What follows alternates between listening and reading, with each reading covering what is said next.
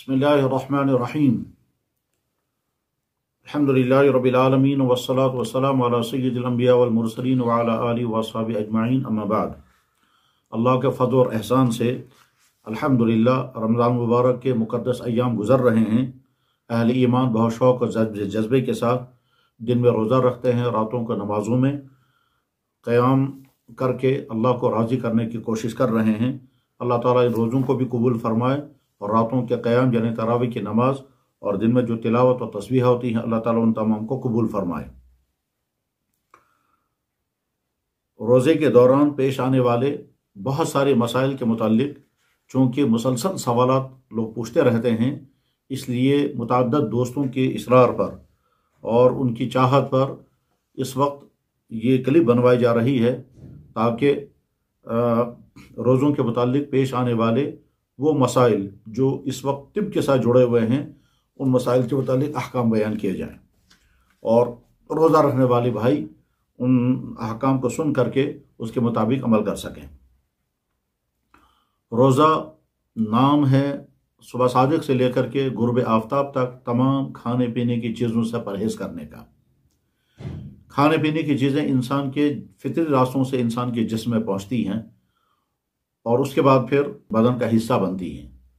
اگر بدن کے فطری راستوں کے علاوہ کسی اور راستے سے کوئی چیز اندر داخل ہوتی ہے، تو کیا اس سے بھی روزہ اسی طرح سے ٹوٹے گا جس طرح سے فطری راستے سے داخل ہونے والی کوئی چیز اندر پہنچتی ہے؟ مثلا منہ کے ذریعے سے اندر کوئی چیز پہنچے، ناک کے ذریعے سے اندر کوئی چیز پہنچے۔ تو جس طرح سے اس چیز کا تعلق براہ راست میدے کے ساتھ ہوتا ہے، اسی طرح سے اگر بدن کے کسی ایسے حصے سے کوئی چیز جسم کے اندر پہنچائی جائے جو منفذ فطری نہیں ہے یعنی بدن کے اندر چیز پہنچانے کا فطری راستہ نہیں ہے، تو کیا اس سے بھی روزہ ٹوٹے گا یا نہیں؟ یہ سوال جناب رسول اکرم صلی اللہ علیہ وسلم کے مبارک زمانے میں اور حضرات صحابہ اور فقہ کے زمانے میں نہیں تھا، اس لیے کہ اس زمانے میں علم طب نے اتنی ترقی نہیں کی تھی کہ اس طرح کے سوالات پیدا ہوتے۔ آج کا زمانہ وہ ہے کہ جس میں اس طرح کی بے شمار چیزیں ہیں جو طبی ترقیات کے نتیجے میں در پیش آتی ہیں اور ان سے لوگ فائدہ اٹھاتے ہیں، تو یہ سوالات پیدا ہوئے۔ اس تناظر میں اب ایک ایک مسئلہ بیان کیا جا رہا ہے۔ چنانچہ سب سے زیادہ پیش آنے والا جو مسئلہ ہے، وہ ہے انجیکشن کا۔ سوال یہ ہے کہ روزے کی حالت میں انجیکشن کرنا درست ہے یا نہیں؟ اور روز انجیکشن کرنے کی وجہ سے انسان کا روزہ ٹوٹے گا یا نہیں؟ یاد رہنا چاہیے کہ انجیکشن جو ہیں وہ تین قسم کے ہیں۔ ایک انجیکشن وہ ہے جو گوشت میں کیا جاتا ہے، ایک انجیکشن وہ ہے جو رگوں میں کیا جاتا ہے، اور ایک انجیکشن وہ ہے جو صرف کھال کے اندر کیا جاتا ہے، جیسے انسولین کا انجیکشن ان تینوں قسم کے انجیکشنوں کے متعلق فیصلہ یہ ہے کہ اگر روزے کی حالت میں یہ انجیکشن کیے گئے تو اسے روزہ نہیں ٹوٹے گا۔ وجہ اس کی یہ ہے کہ اس انجیکشن کے ذریعے سے جو چیز بھی بدن میں پہنچائی جاتی ہے، وہ براہ راست میدے تک نہیں پہنچتی اور اسی طرح سے فطر راستے سے اندر سے نہیں پہنچتی۔ تو لہٰذا اس کے متعلق تمام فقہ اور آج کے تمام مفتیانی کرام کا فیصلہ یہ ہے کہ انجیکشنوں کے ذریعے سے روزہ نہیں ٹوٹے گا۔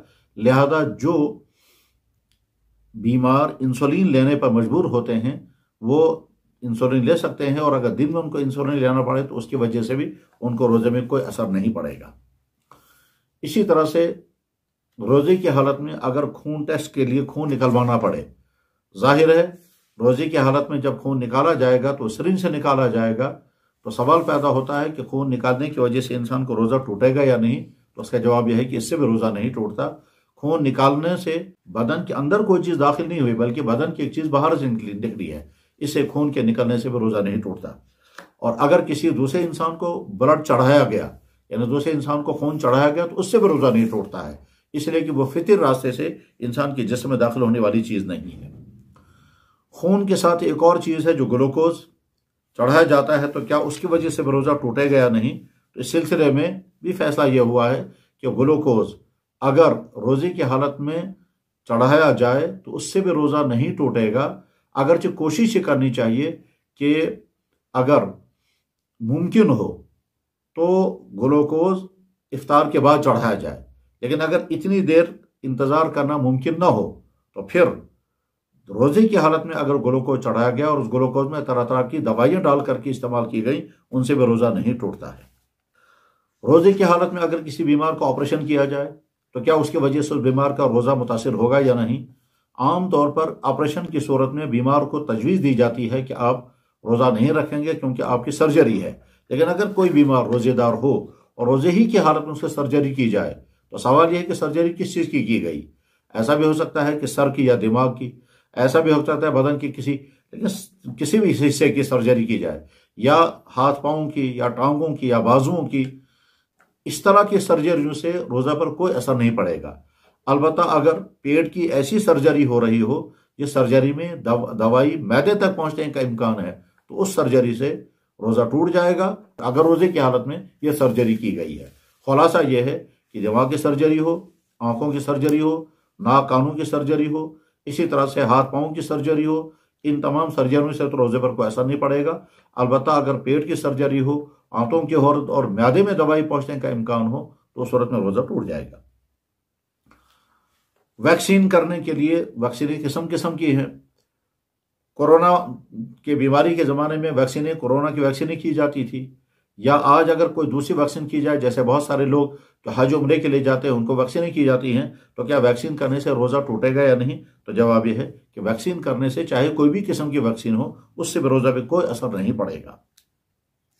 اسی طرح سے روزے کی حالت میں اگر کسی کو دانت نکلوانے پڑیں یا دانتوں میں فلنگ کرنی پڑے، تو دانتوں کے نکالنے سے اور دانتوں کو فلنگ کرنے سے بھی یا روٹ کنال کرنے سے بھی روزے پر کوئی اثر نہیں پڑے گا۔ لیکن اگر روٹ کنال کے دوران اگر دوائی حلق کے نیچے اتر گئی تو اس صورت میں روزہ ٹوٹ جائے گا اور اس کے بغیر اگر حلق کے اندر کوئی چیز اگر نہیں گئی تو اس کی وجہ سے بھی روزہ نہیں ٹوٹے گا۔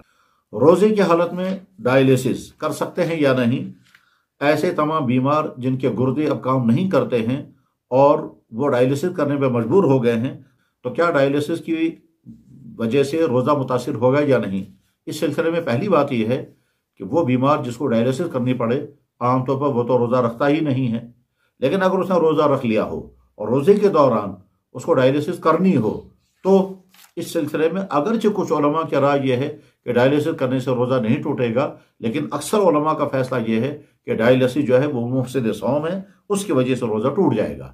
لہذا جن بیماروں کو ڈائلیسس کرنے کی ضرورت ہو، ان بیماروں کو چاہیے کہ وہ روزہ نہ رکھیں۔ روزہ نہ رکھیں اور جن، جس دن ڈائلیسس کرنی ہو، اس دن بغیر روزے کے رہیں تاکہ ان کا روزہ مشکوک نہ ہو۔ اور جب وہ پہلے سے بے روزہ کے ہوں گے، تو اس کے بعد پھر کوئی مسئلہ بھی پیدا نہیں ہوگا۔ اور آئندہ اگر اللہ نے ان کو صحت عطا فرمائی اور وہ روزہ رکھنے کی قابل ہو گئے، تو ان روزوں کو، ان اس طرح کے روزوں کے وہ قضا کر لیں گے۔ روزے کی حالت میں بعض بیماریوں کو آکسیجن دینا پڑتا ہے، تو کیا روزے کی حالت میں آکسیجن دینے سے روزہ ٹوٹے گا یا نہیں؟ تو جواب یہ ہے، اگر آکسیجن کے ساتھ کوئی دوائی نہ ملائی گئی ہو پھر تو لگتا یہ ہے کہ اسے روزہ نہیں ٹوٹنا چاہیے، اس لیے آکسیجن کے ذریعے صرف ہوا ہی اندر پہنچائی جاتی ہے۔ فطری حالت میں جیسے انسان ہوا لیتا ہے، اسی طرح سے آکسیجن بھی ایک فطری ہوا ہے جو انسان لے رہا ہے۔ البتہ وہ مشین کے ذریعے سے وہ آکسیجن پہنچائی جاتی ہے، تو روزہ نہیں ٹوٹنا چاہیے۔ لیکن اگر کوئی دوائی اس میں شامل کر لی گئی ہو، اس کی وجہ سے روزے کے ٹوٹ جانے کا امکان ہے۔ احتیاط اس میں ہے۔ کہ اگر دوائی شامل کر لی گئی ہو تو روزہ ٹوٹ لیا جائے گا، اور اگر دوائی شامل نہیں کی گئی ہے تو پھر آکسیجن کی استعمال کرنے سے روزہ نہیں ٹوٹے گا۔ روزے کی حالت میں جن بیماروں کو استمے کی بیماری ہوتی ہے یا سینے کی جکڑن کی بیماری ہوتی ہے، روزے کی حالت میں ان کو انہیلر استعمال کرایا جاتا ہے۔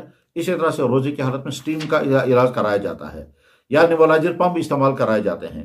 ان تینوں چیزوں کے متعلق فیصلہ یہ ہے کہ انہیلر سے تو روزہ ٹوٹ جائے گا۔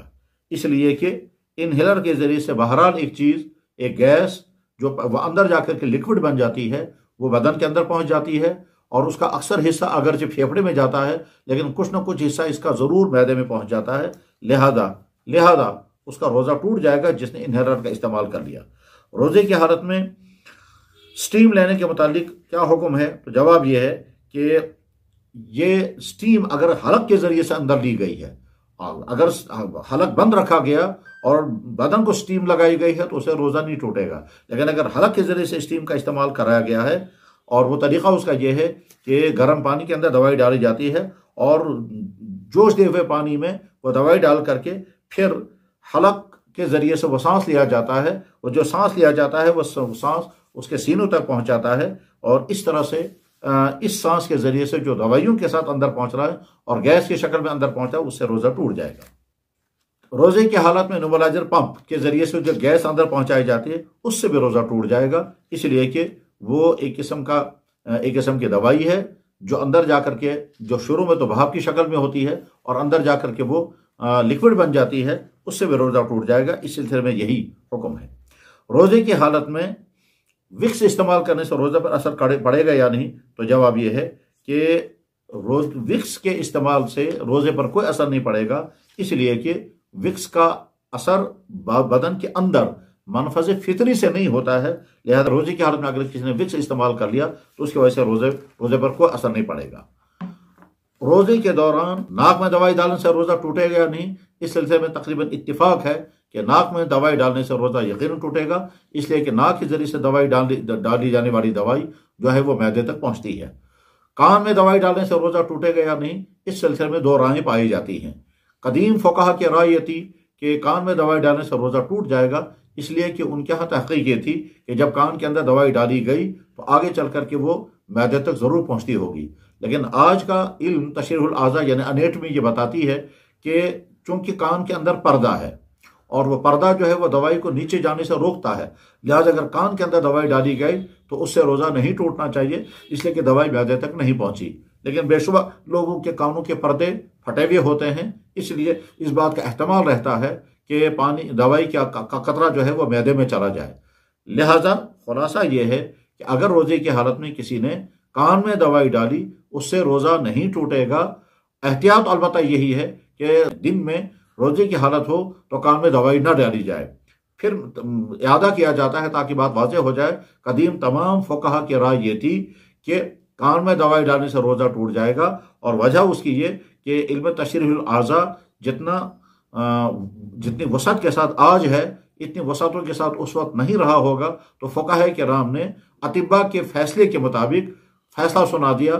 اطبا نے جب کہا ہوگا کہ کان میں دوائی ڈالنے سے میادے تک دوائی پہنچ سکتی ہے تو فقہ ہے کہ رام نے فیصلہ سنایا کہ اس سے روزہ ٹوٹ جائے گا۔ اور آج کے میڈیکل کے ماہرین چونکہ کہتے ہیں کہ کان میں دوائی ڈالنے سے دوائی میدے تک نہیں پہنچتی ہے، اس لیے کہ کان کے اندر پردہ ہے، جو پردہ باہر کی چیز اندر حلق تک پہنچنے کے لیے رکاوٹ بنا ہوا ہے اور وہ اندر جانے نہیں دیتا ہے اللہ یہ کہ کان کا پردہ پھٹا ہوا ہو۔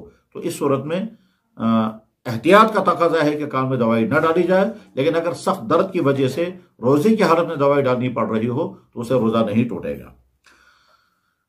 روزے کی حالت میں جن بیماروں کو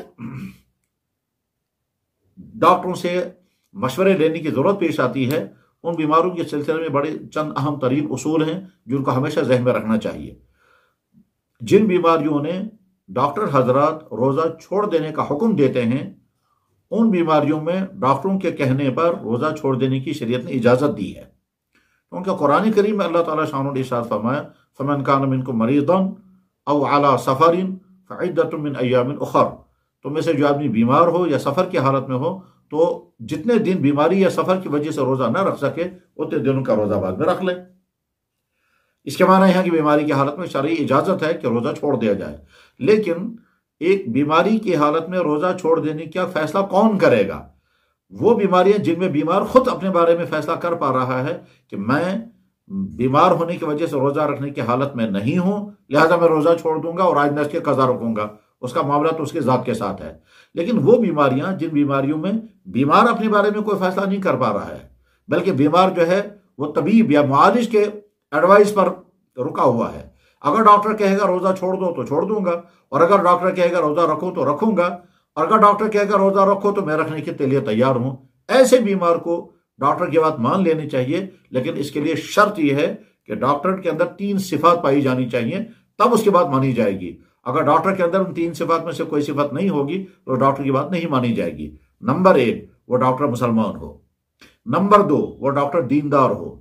نمبر تین، وہ ڈاکٹر ماہر ہو۔ جب تین صفات ڈاکٹر کے اندر پائی جائیں گی اور وہ ڈاکٹر کہے گا کسی بیمار کو کہ آپ کو روزہ چھوڑنا ہے، تو اس وقت بیمار کو ڈاکٹر کی بات ماننی ضروری ہے، ماننے کی اجازت ہے۔ اور اگر تین اوصاف نہ ہوں، بس مسلمان ڈاکٹر نہیں ہے یا ڈاکٹر مسلمان تو ہے لیکن دینی مزاج نہیں ہے، تو اس بات کا خدشہ ہے کہ وہ اس بیماری میں وہ روزہ چھوڑنے کو کہے گا جس بیماری میں روزہ چھوڑنا لازم نہیں تھا، کیونکہ ان کے ہاں دین کی اہمیت نہیں ہے۔ اور اگر مسلمان ڈاکٹر دیندار بھی لیکن ماہر نہیں ہے تو مہارت نہ ہونے کی وجہ سے ہو سکتا ہے کہ وہ وہ فیصلہ کرے جو عدم مہارت کی بنیاد پر ہو رہا ہے۔ زیادہ ماہر ہوتا تو یہ فیصلہ نہ کرتا جب کسی ڈاکٹر کے اندر یہ تین صفات ہوں گی اور وہ ڈاکٹر کہے گا روزہ چھوڑ دو تو اس کے چھوڑنے کی بنا، اس کے کہنے کی بنا پر شریعت کا یہ لازمی حکم جو فرض ہے، اس لازمی حکم کو چھوڑ دینے کی اجازت ہے۔ اور ڈاکٹر کو بھی اپنے بارے میں یہ سوچنا چاہیے کہ میں کسی مسلمان سے ایک فرض منقطع کروا رہا ہوں۔ ایک مسلمان کو میں فیصلہ سنا رہا ہوں کہ آپ یہ فرض ادا نہیں کریں گے۔ تو ایسا نہ ہو کہ میرا فیصلہ غلط ہو اور آخرت میں اس کی پکڑ ہو جائے گی کہ تم نے غلط فیصلہ کیوں سنایا تھا۔ اس سلسلے میں ڈاکٹر کو بھی بہت محتاط ہونا چاہیے۔ بس ہر بیماری میں فوراً یہ کہہ دینا کہ روزہ بند کر دو، روزہ نہیں رکھ سکتے، یہ صحیح نہیں ہے۔ ہاں جن بیماریوں میں واقعتاً بیمار کے بیمار کی بیماری بڑھ جانے کا خدشہ ہو یا مزید بیمار ہونے کا خطرہ ہو، تو اس صورت میں ڈاکٹر کو اجازت ہے۔ وہ کہہ سکتا ہے، بشرطے کہ کوئی متبادل نہ ہو۔ مثلا اگر ڈاکٹر کو سمجھتا ہے کہ میں دوائی میں دوائی کے ذریعے سے صبح اور شام اس کا علاج کروا سکتا ہوں اور دن میں روزہ رکھے گا تو کوئی حرج نہیں ہوگا، تو اس کو روزہ رکھوانا چاہیے۔ وہ بیمار جن بیماروں کو دن میں بار بار کھانے کی ضرورت پیش آئے گی، چاہے دوائیں، چاہے غذائیں، اور نہیں کھائیں گے تو ان کو ان کو خطرہ ہے کہ بیماری بڑھ جائے گی یا کوئی خطرناک معاملہ پیش آ جائے گا۔ ان بیماریوں جب مسلمان ڈاکٹر ماہر اور دیندار ڈاکٹر کہے گا روزہ چھوڑ دیں، تو بیماریوں کو روزہ چھوڑ دینے کی اجازت ہے۔ جن بیماریوں میں روزہ چھوڑ دینے کی اجازت ہے، ان بیماریوں میں مبتلا افراد کے لیے ضروری ہے کہ وہ علل اعلان رمضان میں نہیں کھائیں گے۔ وہ یہ نہیں کہیں گے، سوچیں گے کہ ہم کو چونکہ روزہ چھوڑ دینے کی اجازت دی گئی ہے، لہذا ہم علل اعلان کھائیں گے۔ اور ہمیں کوئی پرواہ نہیں ہے۔ اس سلسلے میں یہ بات ذہن میں رکھنی چاہیے۔ ایک ہے شریعت کی دی ہوئی رخصت اور ایک ہے رمضان کی توہین۔ علل اعلان سب کے سامنے کھمنا، رمضان کی توہین ہے۔ اس سے اجتناب کرنا چاہیے۔ البتہ شریعت نے جو رخصت آپ کو دی ہے، اس رس پر عمل کر سکتے ہیں۔ اور یہ ایسا ہی ہے جیسے کہ وہ ہماری خواتین جن کو شریعت نے روزہ چھوڑ دینے کی اجازت دی ہے، اور وہ چار قسم کے خواتین ہیں۔ نمبر ایک، وہ خاتون جو ماہانہ عذر کی حالت میں ہوں۔ جو منتھلی عذر ان کو پیش آتا ہے، اس عذر کی حالت میں جو خواتین ہوں، ان کو روزہ مؤخر کرنے کا حکم ہے۔ اب جن ایام میں وہ عذر میں ہیں ان ایام میں وہ ظاہر دن میں کھائیں گی، لیکن ان کو اس طرح سے کھانا ہے کہ گھر کے بچوں کو بھی پتہ نہیں چلنا چاہیے کہ ہمارے گھر کے فلاں خاتون نے کوئی چیز کھائی یا پی ہے، ورنہ ان کے ذہنوں میں رمضان کے اندر نکل جائے گی۔ تو وہ خاتون کہ جو منتھلی عذر کی حالت میں ہوں ان کو روزہ چھوڑنے کی اجازت ہے۔ اس طرح سے وہ خواتین جن کو ابھی ابھی ولادت ہوئی ہو اور وہ ڈلیوری کے بعد جو بلیڈنگ کا زمانہ ہوتا ہے، ان ایام میں بھی روزہ چھوڑ دینے کی اجازت ہے۔ جتنے دنوں ان کا خون آتا رہے گا، دو عورتیں ہو گئی اور تیسری وہ خاتون جو پریگننسی کی حالت میں ہوں، حالت حمل میں ہوں اور روزہ رکھنے کی وجہ سے ان کے حمل پر منفی اثرات پیش آنے کا خطرہ ہو، تو ان خواتین کو بھی روزہ چھوڑ دینے کی اجازت ہے۔ اسی طرح سے وہ خواتین جو بچوں کو دودھ پلا رہی ہوں اور روزہ رکھنے کی وجہ سے ان کے دودھ کے کم ہونے یا خشک ہونے کا خطرہ ہو، ان عورتوں کو بھی اجازت ہے کہ وہ روزہ چھوڑ دیں۔ تو یہ چار خواتین ہو گئیں۔ ان چار خواتین کو روزہ چھوڑنے کی اجازت ہے، مگر اس کے معنی یہ نہیں ہے کہ وہ علل اعلان کھائیں اور کوئی تکلف نہ بنے۔ رمضان کا احترام کا تقاضا ہے کہ وہ کھائیں اور چھپ کر کے کھائیں اور اس طرح سے کھائیں کہ لوگوں کو پتہ نہ چلے۔ اسی طرح سے کوئی بیمار جو ہے، وہ بیمار کوشش یہ کی جائے کہ اس بیمار کو کھانا اس طرح سے کھلایا جائے کہ سب لوگوں کو پتہ نہ چل جائے۔ ظاہر ہے بیمار جس جگہ اپنے بیڈ پر بیٹھا ہوگا، وہیں اس کو کھانا کھلایا جائے گا۔ لیکن اس کے دل میں یہ احساس ہونا چاہیے کہ آج رمضان مبارک کا مقدس مہینہ ہے، مجھے نہیں کھانا چاہیے تھا، لیکن بیماری کی وجہ سے افسوس میں کھانے پہ مجبور ہوں۔ خوشی کے ساتھ نہیں، افسوس حسرت کے ساتھ کھائے۔ اور اسی طرح سے مسافر کا ہے۔ مسافر کا معاملہ یہ ہے کہ شریعت نے اگر سفر کی بنا پر سہولت دی ہے تو اب اس سہولت کا فائدہ اٹھانے کی اجازت ہے، مگر اس کے معنی ہرگز یہ نہیں کہ اعلان سب کے سامنے لوگ کھائیں اور رمضان کا احترام باقی نہ رہے، ایسا ہرگز نہیں ہونا چاہیے۔ مسلمان کی شان یہ نہیں ہے کہ وہ دین کے شاعر کی توہین کرے، رمضان میں اعلان کھانا گویا ایک قسم کے رمضان کی توہین ہے۔ سفر میں روزہ چھوڑ دینے کی اجازت تھی تھی، ہے اور آج بھی ہے، کیونکہ قرآن کریم کا حکم ہے۔ مگر آج کے زمانے میں جو سفر کی سہولیات ہیں، خصوصاً جو جہازوں کا سفر کرتے ہیں، ان سفر کرنے والوں کو موقع ہے کہ وہ اس سہولت سے اگر فائدہ نہیں اٹھائیں گے روزہ رکھیں گے، تو غالباً کوئی زیادہ مجاہدہ نہیں کرنا پڑے گا۔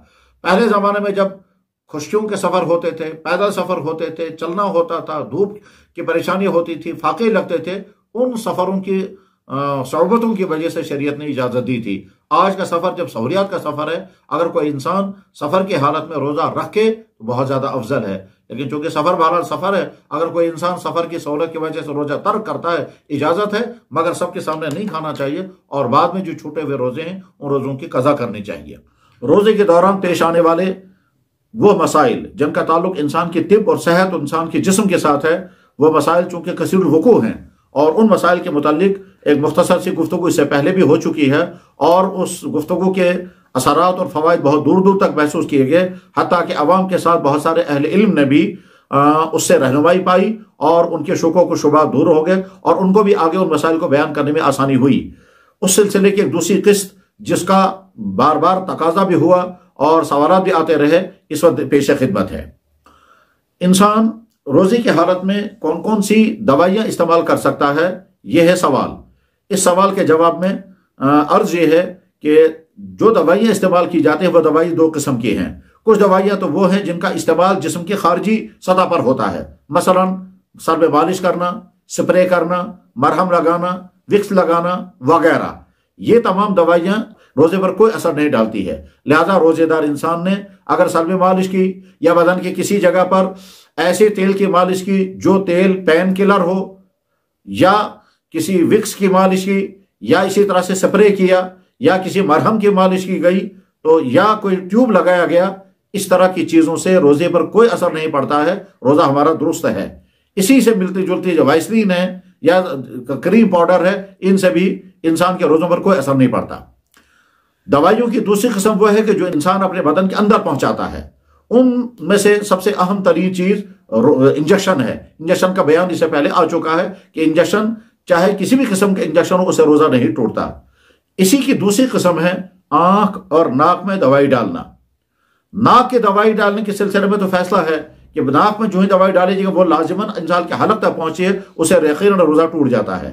آنکھوں اور کانوں میں دوائی ڈالنے سے روزہ ٹوٹتا ہے یا نہیں، اس سلسلے میں قدیم فقہا کا فیصلہ تو یہ تھا کہ آنکھوں میں دوائی ڈالنے سے روزہ نہیں ٹوٹے گا۔ اور کانوں میں دوائی ڈالنے سے روزہ ٹوٹ جائے گا۔ یہ تو قدیم فقہا کا فیصلہ تھا جو ہماری کتابوں میں موجود ہے۔ اس وقت کے بے شمار علماء بھی اسی رائے کے حامل ہیں۔ ان کا فرمانا بھی یہی ہے کہ آنکھ میں دوائی ڈالنے سے روزہ نہیں ٹوٹے گا، روزہ نہیں ٹوٹے گا اور کان میں دوائی ڈالنے سے روزہ ٹوٹ جائے گا۔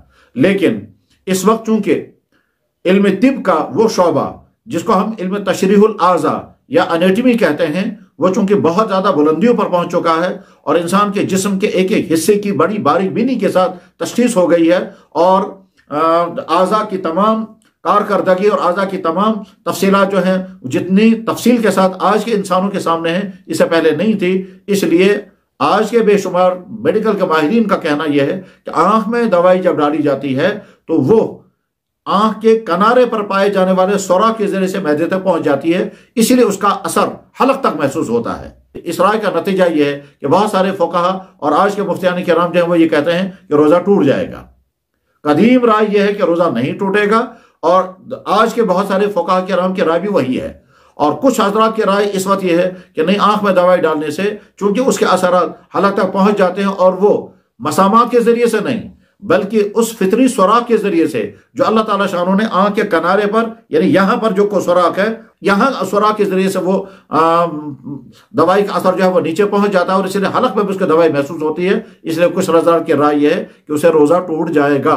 اب خلاصہ یہ ہے کہ جو بیمار دن میں کئی کئی مرتبہ دوائی ڈالنے پر مجبور ہیں، جیسے آنکھ کا نیا نیا آپریشن ہوا ہے اور ڈاکٹر ہر گھنٹے کے بعد یا ہر دو چار گھنٹے کے بعد آنکھ میں دوائی ڈالنے کی تلقین کر رہے ہیں، تو روزہ چھوڑنے کے بجائے دوائی ڈالی جائے اور یہ سمجھا جائے کہ روزہ نہیں ٹوٹے گا اور حلق پر جو اثرات پہنچے ہیں، وہ مسامہ کے ذریعے پہنچے ہیں، جیسا کہ ایک رائے یہی ہے۔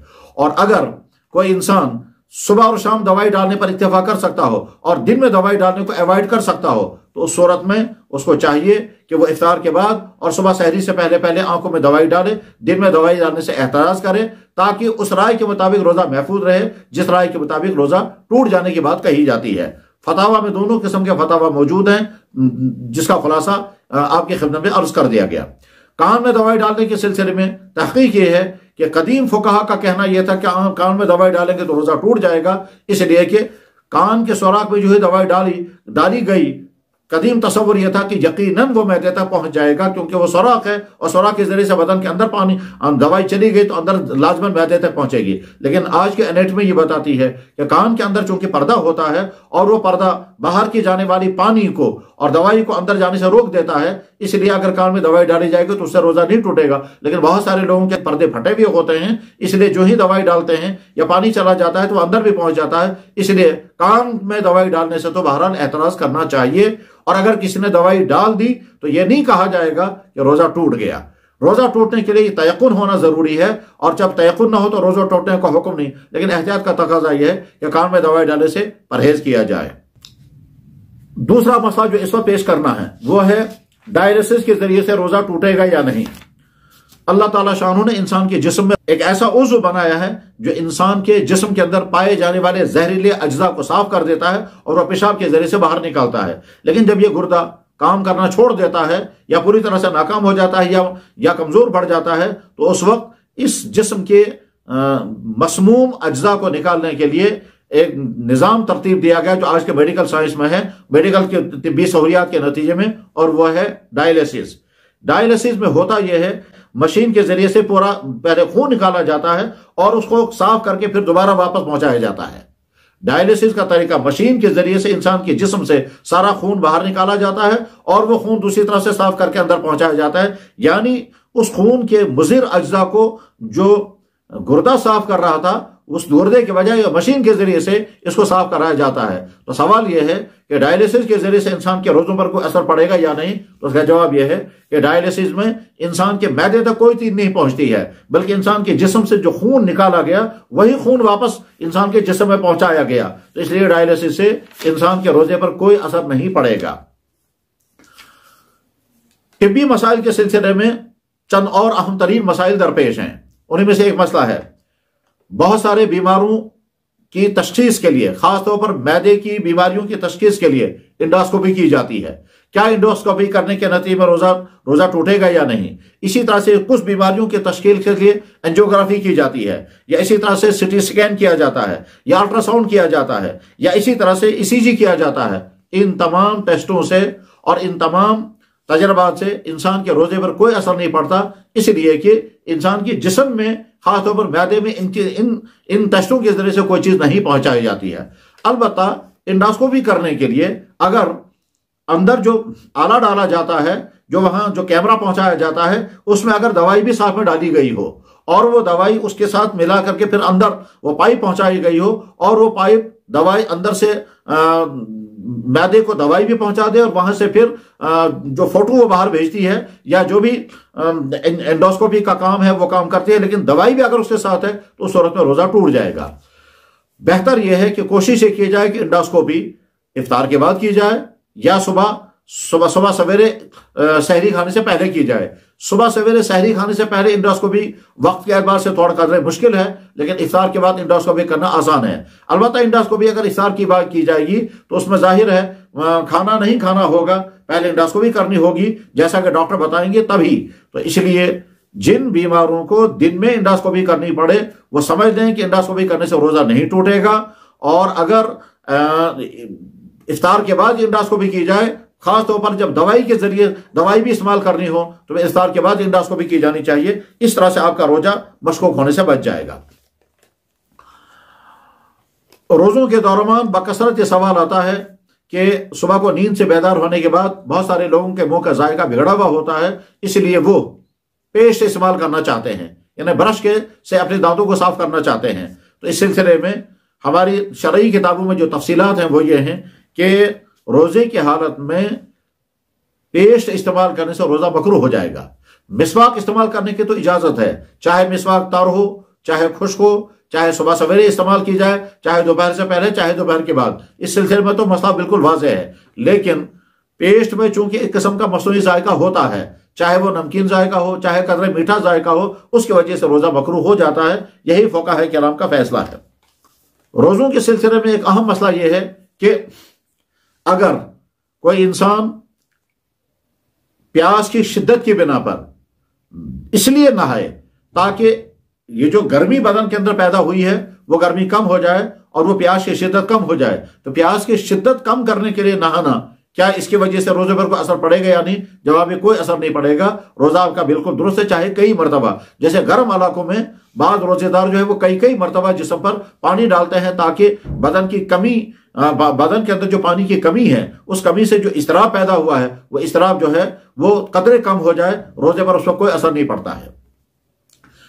دوائیوں کے سلسلے میں ایک اہم سوا، ایک اہم مسئلہ آتا ہے کہ ہارٹ کی کچھ دوائیاں ایسی ہیں جو زبان کے نیچے رکھی جاتی ہیں اور زبان کے نیچے رکھے رکھے وہ دوائی جو ہے وہ پگھل جاتی ہے۔ اگر وہ دوائی کا اثر حلق میں، لعاب میں آ گیا اور وہ لعاب اگر انسان نے نگل لیا تو اس کی وجہ سے روزہ ٹوٹ جائے گا۔ لیکن اگر اس دوائی کا اثر لعاب میں نہیں آیا اور وہ مسامات کے ذریعے سے انسان کے دل تک پہنچ گئی تو اس صورت میں روزے پر کوئی اثر نہیں پڑے گا۔ تو وہ دوائی جو ہارٹ کے پیشنٹ زبان کے نیچے رکھتے ہیں، وہ دوائی اگر لعاب میں نہیں آئی اور لعاب حلق کے اندر نیچے نہیں اترا تو پھر روزے میں کوئی اثر نہیں پڑا۔ روزے کے سلسلے میں ایک ایک مسئلہ جو بکثرت پیش آتا رہتا ہے وہ یہ کہ دن میں اگر انسان سے بد نظری ہو گئی، غیبت ہو گئی بد کلامی ہو گئی، گالی گلوچ ہو گئی، لڑائی جھگڑا ہو گیا، تو کیا اس سے روزہ ٹوٹے گا یا نہیں؟ جواب یہ ہے، ان تمام چیزوں سے روزہ ٹوٹتا تو نہیں ہے، لیکن روزے کے جو فوائد ہیں وہ فوائد یا تو کم ہو جاتے ہیں یا بالکل ہی ختم ہو جاتے ہیں۔ اس لیے کوشش کرنی چاہیے کہ جب اللہ نے روزہ رکھنے کی توفیق عطا فرمائی ہے تو اب اپنے روزے کو بچائیں بد کلامی سے بد ندری سے بد خیالی سے بد نگاہی سے، تمام بری ان باتوں سے جن کو اللہ اور اللہ کے نبی نے حرام کیا ہے۔ چنانچہ جناب رسول اکرم صلی اللہ علیہ وسلم کو مبارک ارشاد ہے، کم من صائم لیس له من صیام الا الزما وکم من قائم لیس له من قیام الا السحر کتنے ہی روزہ رکھنے والے ایسے ہیں، ان کو روزہ رکھنے میں سوائے بھوکا پیسہ رہنے کو کچھ نہیں ملتا، اور کتنے ہی رات کو جاگنے والے ایسے ہیں جو رات بھر جاگتے ہیں، مگر ان کو نیند ختم کیے، نیند کا نقصان کیے بغیر اور کوئی نفع ہونے والا نہیں ہے۔ یعنی گویا انہوں نے عمل تو یہ کیا، مگر اس عمل کے اندر کوئی ایسی کمی پائی گئی جس کمی کی بنا پر اس عمل کے وہ فوائد اور وہ منافع جن جو ملنے چاہیے تھے، وہ منافع متاثر ہو جاتے ہیں۔ اللہ تعالیٰ ہم کو رمضان ٹھیک طرح سے رکھنے کی توفیق عطا فرمائے، رمضان کے روزوں کو قبول فرمائے اور جو نمازیں جو تلاوت ہو رہی ہے، اللہ تعالیٰ اس کو قبول فرمائے۔ وآخر دعوان الحمد للہ رب العالمین برحمت کے یار